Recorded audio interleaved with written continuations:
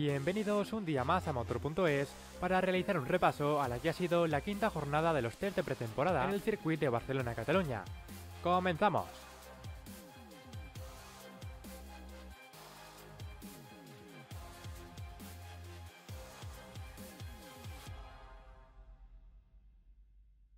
El día para los de Walking fue agredulce. Norris fue el encargado en el día de hoy de seguir con el trabajo de las tandas largas con el compuesto C3, esta vez para completar unas 59 vueltas en una mañana en la que acabaría por la grava tras salirse de la pista. Ya por la tarde, el británico reanudó el programa hasta la pausa que hicieron sus mecánicos para realizar labores varias en el MCL34. Finalmente, para comprobar que todo funcionaba, el cuadro salió a pista para realizar una tanda corta con el compuesto C4, neumático con el que se colocó primero gracias a un tiempo de 1.17.709. Para tras terminar el día como empezó, quedándose tirado en la grava tras completar un total de 80 vueltas. Pierre Gasly cerró la jornada siendo el piloto que más vueltas completó en el día de hoy, 138. El francés completó por la mañana una sesión de tandas largas con el compuesto C2 y C3. Este último, por cierto, de momento sigue dando quebraderos de cabeza a los austriacos por culpa de los problemas de graining del RB15. En lo que quedaba de día, el 10 pasó a alguna que otra tanda corta con este mismo neumático, incluso con el C5 para comprobar su duración. En definitiva, día positivo para los de la bebida energética con un 1.17.715 registrado con el C3. Los anglo-canadienses siguen discretos pero en progresión tras las dificultades iniciales de la semana pasada. Lance Stroll dedicó su día a las tandas largas con el compuesto C2 por la mañana, para luego ir ablandando sus stints de cara a la tarde con el uso del compuesto C3 y C4. Fue con este último con el que marcó su mejor tiempo para colocarse en tercera posición, cerrando un gran día para las Panteras Rosas con 82 vueltas más de kilometraje. Los de Maranello no tuvieron su mejor día, y es que en algún momento los problemas tenían que llegar. Leclerc se montó por la mañana en el SP90 para hacer unas vueltas de instalación antes de volver a un garaje, donde los italianos tendrían que desmontar el sistema de refrigeración para poder regresar a pista. Por tanto, el monegasco acabó su corta jornada con 30 vueltas. Ya por la tarde, Vettel trató de poner orden con tandas largas con el compuesto C3, en una sesión vespertina en la que mantuvo por momentos un duelo virtual contra los tiempos de Gasly.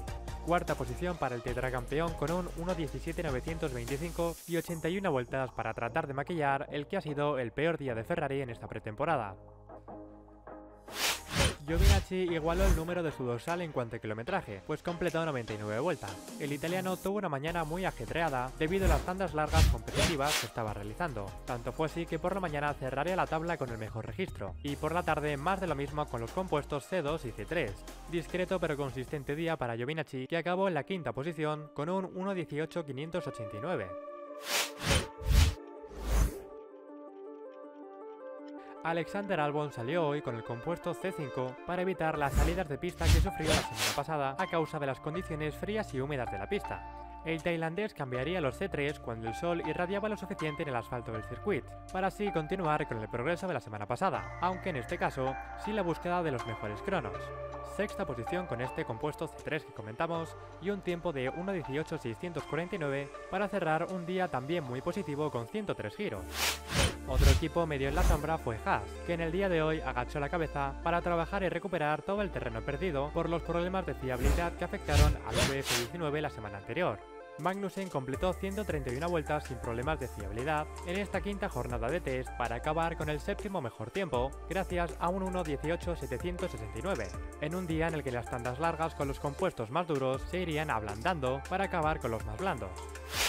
El día para el campeón de la Fórmula 2 fue parecido al de Magnussen. El 63 se encargó de comprobar que el FW42 no tenía problemas para acumular kilómetros. Todo ello en una jornada de necesarias tandas largas que dieron un poco de esperanza al equipo Williams. A pesar de todo, al monoplaza de los de Grove no se le ve excesivamente rápido. Russell cerraría el día con un tiempo de 1.19.662 119 vueltas. En un planteamiento similar al de otros equipos, Renault optó por las tandas largas con los compuestos más duros, dejando reservadas para otro día las gomas más blandas. Todo ello en una muy discreta sesión sin problemas, donde predominó el C3 en el piloto alemán y el C2 en Ricardo ya por la tarde. Décima posición para el ex Red Bull con 77 vueltas y un 1.20.107 y última y decimotercera posición para Hulkenberg con 80 giros y un tiempo dos décimas más lento. Al igual que Ferrari, los de la estrella plateada comenzaron a sufrir problemas en el día de hoy. Hamilton en la sesión matutina era el encargado de estrenar la segunda versión del W10, realizando tandas largas con el C2 en un planteamiento de distintas comprobaciones y parecido al de la semana pasada. Si el británico fue capaz de hacer 87 vueltas, a su compañero Bottas le tocaron todos los problemas. El finés solo fue capaz de dar 7 vueltas en su renovada monoplaza tras detener el coche por unos problemas con la presión de aceite, problemas muy serios de fiabilidad, siendo el que lo sufre el propio equipo Mercedes, que pondrían prácticamente fin y de forma temprana a su turno vespertino. Tras pasar por el garaje, el 77 saldría de nuevo a pista para comprobar que todo funcionaba, y hasta aquí el resumen de la quinta jornada de estos test de pretemporada en Barcelona. No me despido como siempre sin hacer hincapié en que leáis los análisis técnicos diarios de nuestro compañero David Plaza, y sobre todo hoy con el nuevo paquete aerodinámico de Mercedes. Como siempre, no os olvidéis de seguirnos en todas las redes sociales, de estar suscritos a nuestro canal de YouTube, de dejar un me gusta si te ha gustado este vídeo y un comentario con cualquier duda. Mi nombre es David Moreno y nos vemos en próximos vídeos. ¡Hasta luego!